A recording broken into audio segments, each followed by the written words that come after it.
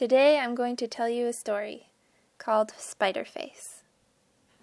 Once upon a time, there was a fairy who was lonely and very unhappy. She wore a mask because she hated her own face. She knew how ugly she was. She was always jealous of all the human girls that passed through her forest.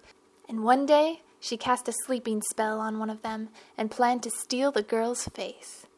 She took the girl back to her dwelling in the trunk of an old oak tree. The fairy put the girl down on the bed and began rummaging through her spell book for a way to steal the girl's face. At last she found the spell and pointed at the girl as she said the magic words. It just so happened, at that very moment, a spider crawled on the girl's face. Instead of getting the girl's face, as the fairy wished, the fairy traded faces with the spider. The fairy screamed in dismay when she looked in the mirror. What a horrible sight! The fairy looked around frantically and saw the spider, who had a very elegant face. Where did you get that face? the fairy demanded of the spider. Did you steal the girl's face for yourself? Wait till I get my hands on you. I stole no one's face, thoughtless fairy, the spider said contemptuously. This face was the one you traded for mine. I wish I had my own again, but I suppose this will do. The fairy was surprised.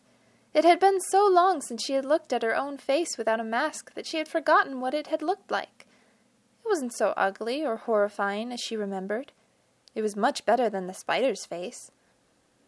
Let me give you back your face, spider, the fairy said, almost pleading. Forgive me for disturbing you. The spider said, Humph, but she did not run away. The fairy hurried back to her spell book and pointed at the spider and said the magic words once more. This time, when she looked in the mirror, she was relieved to find her own face again, and for the first time she was proud.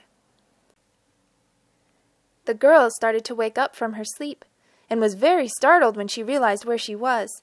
She got up and ran for her life out of the oak trunk and out of the forest. The fairy didn't stop her.